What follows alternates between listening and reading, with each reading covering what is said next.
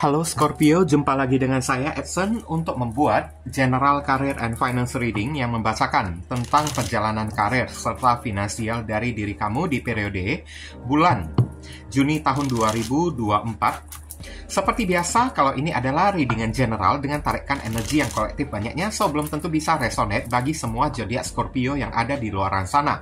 Oleh sebab itu, saya memohon kebijaksanaan, kedewasaan, serta kearifan dari diri kamu di dalam menanggapi serta menelaah segala macam bentuk readingan saya ini dan jangan pernah kamu bawa baperan terlebih dahulu karena energi yang ketarik yang ketarik di dalam readingan saya ini bisa jadi sifatnya vice versa, kebolak-balik, move and flow, sesuatu yang mungkin saja sudah pernah terjadi di dalam kehidupan kamu atau yang saya bacakan ini adalah sesuatu yang masih belum terjadi dan ditakutkan bisa terjadi nanti ke depannya. Anggaplah sebagai entertain atau hiburan di mana readingan yang baik-baik, yang positif kita aminkan, jadikan sebagai pengharapan, sedangkan untuk readingan yang negatif kita jadikan sebagai antisipasi atau tindakan pencegahan. Oke? Okay? Hmm. Dear Heavenly God and Universe, please tell us a general career and finance reading for Scorpio in period June 2024. Bagaimana perjalanan karir serta finansial dari zodiak Scorpio di periode bulan Juni tahun 2024. Thank you.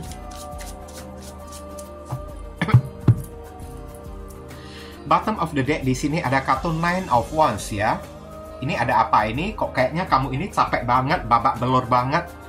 Dan satu sisi kan, kok kayaknya kamu merasa insecurity gitu lah ya, takut-takut ya, merasa terancam, selalu curigaan. Saya lihat di sini. Sektor pekerjaan saya lihat di sini ada kartu debt ya. Oh, saya udah ngerti Kemudian ada kartu Three of Wands. Ada kartu Page of Pentacles, mencari peluang dan kesempatan baru ya di sini ya. Mungkin beberapa orang dari zodiak Scorpio tidak semuanya ya karena zodiak Scorpio itu kan jutaan orang di muka bumi ini kan. Kalau misalnya tidak relate ya, tidak cocok kepada diri kamu, ya berarti yang saya bacakan ini adalah Scorpio yang lain. ada dead ya. Biasanya dead ini adalah simbol dari transformasi atau perubahan ya di sini ya. Ada sesuatu yang berakhir di dalam pekerjaan kamu tersebut. Tapi kalau saya nangkapnya ya, dari sejak awal intuisi saya ini kayak mengatakan beberapa orang dari zodiak Scorpio memilih resign ya karena Nine of Wands kamu sudah merasa tidak nyaman lagi ke kepada pekerjaan kamu tersebut. Makanya di sini kamu sedang memantau mencari apakah ada page of pentacles peluang kesempatan baru ada ada job baru atau tidak ya mungkin kabar baiknya cuman kabar baiknya di sini kalau bagi kamu yang sudah ingin sudah tidak betah lagi di dalam arena pekerjaan kamu tersebut karena merasa selalu terpenjara ya diintimidasi tidak aman tidak tenang gitu kan diributin oleh orang oke okay?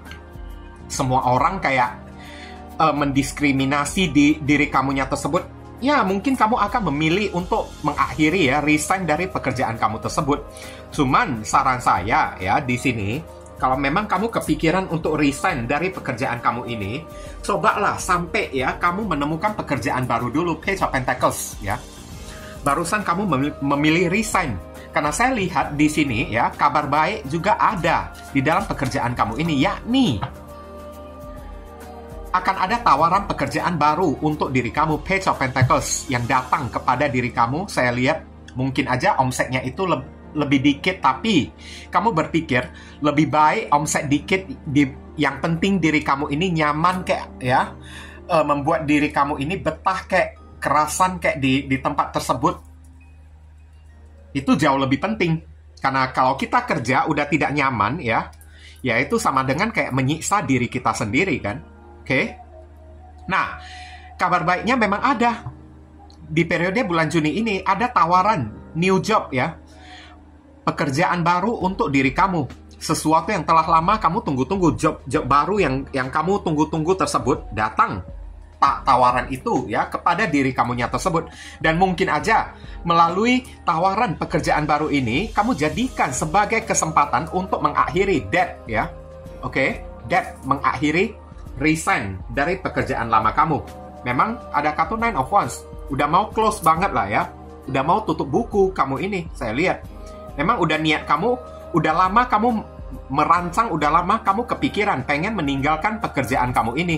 Cuman masih belum ditemukan pekerjaan baru untuk diri kamu, jadi kamu tidak berani. Oke? Okay? Untuk kayak gimana lah ya? Untuk memilih resign terlebih dahulu. Apa kamu mau menjadi pengangguran? Nah, kan tidak mungkin kan jadi Scorpio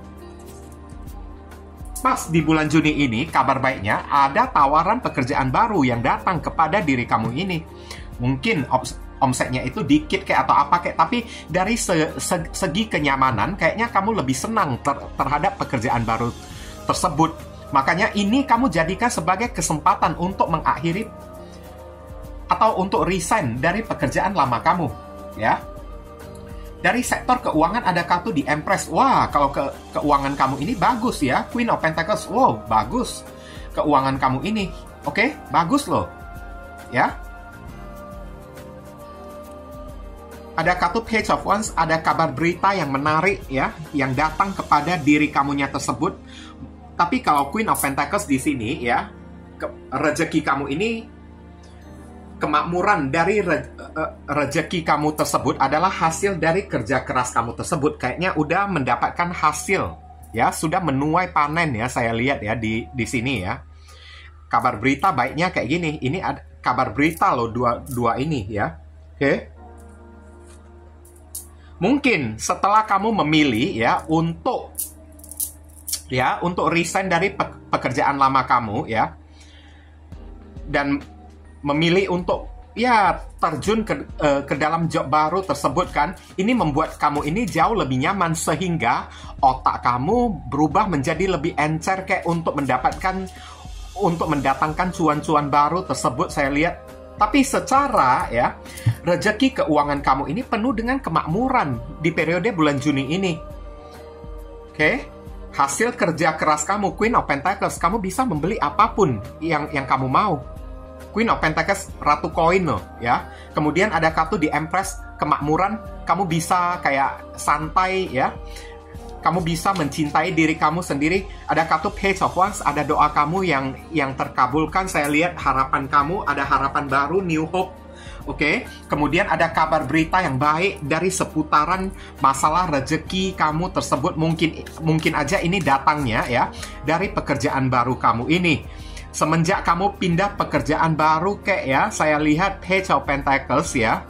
Oke, okay, kamu lebih memiliki waktu luang untuk melakukan side side job ya atau melakukan usaha sampingan sendiri sehingga bisa mendatangkan cuan yang lebih banyak lagi kan. Nah, akhirnya ya, kemakmuran itu kamu miliki juga ya. Jadi Scorpio ya. Dan Nine of Wands di sini ya, ini adalah kerja keras kamu saya lihat. Oke? Okay? Dan atas rejeki kamu ya yang yang yang kamu dapatkan kayaknya kamu tutup-tutupin ya dari orang ya. Kamu takut orang tahu ya berapa rejeki uang yang kamu dapatkan tersebut. Kamu lebih banyak menyembunyikan atau menyimpan, merahasiakan ya berapa besar pendapatan kamu ini kan. Kamu takut orang tahu. Kenapa ya? Di saat orang-orang tahu, udah tahu sendiri lah ya orang tahu seberapa banyak re rezeki kita tersebut kan? Ya nanti ya si orang itu malahan jadi toksik kayak jadi benalu jadi parasit kayak datang memorotin diri kita. Ya wajar. Nine of wands ya. Kamu men menutupi ya jumlah peng penghasilan kamu kan dari publik. Padahal uang kamu ini banyak loh. Saya lihat rezeki yang kamu dapatkan ini penuh dengan kemakmuran ya. Datangnya ini kan dari kayaknya upaya kamu sendiri, dari hasil kerja keras kamu sendiri, ya. Kabar berita baik datang kepada diri kamu, tawaran-tawaran datang kepada diri kamu mungkin aja. Bagi beberapa orang dari zodiak Scorpio yang yang buka side, side job atau usaha sampingan ya, usaha kamu ini juga mendatangkan rejeki yang sangat banyak, uang yang sangat banyak selain omset gaji pokok kamu ya. Saya lihat ya. Ada kartu The Tower Moment kartu Tower Moment ini kan bukan berarti selalu memiliki arti yang negatif ya. Ini adalah surprise, kejutan, perubahan mendadak ya. Oke. Nah, Tower Moment ini kan ibaratnya ya, ya ini adalah suatu pengakhiran juga bisa lah ya. Seperti kartu The Dead ini kan. Kalau kamu memang merasa di dalam arena pekerjaan kamu ini sudah tidak nyaman ya, bagi diri kamu, kamu merasa terintimidasi, didiskriminasi oleh orang, tidak ada orang yang memperlakukan kamu dengan layak atau kayak gimana, ya udah silakan kamu akhirin. Kalau udah pas udah ketemu Page of Pentacles tawaran celah baru kayak ya, pekerjaan baru kayak ya udah sekaligus jadikan ini sebagai kesempatan tower moment akhiri. Tinggalkanlah pekerjaan kamu yang udah toxic. Memang tower moment ini ibaratnya kayak mengatakan udah waktunya mengakhiri dan memulai sesuatu yang baru, terjun ke dalam dunia yang baru, pekerjaan yang baru, pekerjaan yang lama udah biarkan aja ya. Tinggalkan aja, resign aja. Dalam masalah keuangan juga, ini ada sesuatu surprise ya. Untuk diri kamu mungkin aja ini datang dari page, page of Wands ya, di sini ya. Oke? Okay? Dan ini datangnya dari alam semesta untuk diri kamu saya lihat. Oke? Okay? Dan kamu disuruh ya, jagalah uang kamu baik-baik ya. Oke, okay? jagalah rezeki kamu ini baik-baik karena silap-silap ya, kalau kamu mempublikasikan berapa banyak pendapatan kamu di hadapan publik, jeder. Tower moment terjadi kepada diri kamu. Ya, langsung jeder. Kenapa ya? Raib uang kamu tersebut. Datang orang-orang toksik memorotin diri kamu. Karena tower moment ini adalah orang-orang toksik yang ingin menghancurkan diri kamu, ingin menguras harta materi keuangan kamu tersebut. Lebih baik kamu nine of one tutup. Ya, buat pagar benteng tutup rapat-rapat kayak gini kan. Nampak kan? Oke. Okay. Tutup rapat-rapat tidak perlu ada orang yang tahu seberapa banyak gaji kamu tersebut, rezeki kamu yang kamu dapatkan di, di bulan Juni ini ya. Cukup kamu dan Tuhan aja yang tahu ya. Kartu ini memperingatkan kalau kamu tidak mau hancur rezeki kamu ini tidak mau hancur, uang kamu ini tidak mau dilarikan oleh orang ya. Seperti tower moment yang tiba-tiba jeder, hancur, berantakan, raib, tiba-tiba uang kamu tersebut jangan kamu publikasikan di, di hadapan publik. Jangan cari penyakit. Nah, kayak gitu. Oke. Okay? periode bulan uh, anu ya Juni ini kamu bisa terhubung dengan orang bersama Rising and Venus. Centernya di sini ada zodiak Sagittarius. Pekerjaan di sini kamu bisa terhubung dengan orang yang bersama Rising and Venus. Di sini ada zodiak Scorpio, ada zodiak Aries, ada Capricorn, Taurus dan Virgo uh, keuangan di sini kamu bisa terhubung dengan orang bersama Rising and Venus ada Taurus dan Libra, ada Capricorn, ada Aries, Leo, Sagittarius dan kemudian saran pesan di sini ada Aries dan Scorpio. Wah, energi kamu ini cukup kuat dan kencang ya saya lihat ya. Mungkin itu saja sih yang bisa saya sampaikan ya untuk diri kamu ya. Jadi Scorpio berhubung karena ini adalah readingan general. Jadi penyampaian saya ini mungkin agak simple dan seadanya untuk penyampaian yang lebih mendetail dan lebih spesifik ke energi kamu sendiri. Saran saya langsung aja kamu lakukan personal reading dengan diri saya dan dari awal sampai sekarang saya tidak mengatakan kalau readingan saya ini bisa resonate sepenuhnya untuk diri kamu Scorpio. Itulah sebabnya kenapa saya selalu menghimbau orang-orang lakukanlah personal reading dengan diri saya. Supaya energi yang ketarik langsung kepada si satu orang si penanya itu aja bukan kepada energi banyak orang. Kayak gini ingat Scorpio itu jutaan orang di muka bumi ini dengan energi masalah yang berbeda nasib yang berbeda takdir juga berbeda berbeda-beda juga ya. Jadi belum tentu yang saya bacakan ini adalah Scorpio-nya diri kamu. Mohon kamu jangan baperan ya membaperin readingan saya ini terlebih dahulu apalagi sampai menghakimin ya readingan saya ini. Oke? okay? Uh, jangan lupa banyak berdoa di sana. Di sini saya selalu mendoakan yang terbaik untuk diri kamu semua. Jadi Scorpio, kita sama-sama saling mendoakan satu sama lain yang positif-positif. Akhir kata saya ingin tutup dulu readingan saya ini dan pamit undur diri dulu. I see you again very soon on the next video. Salam cerah penuh kedamaian. Sadu, sadu, sadu.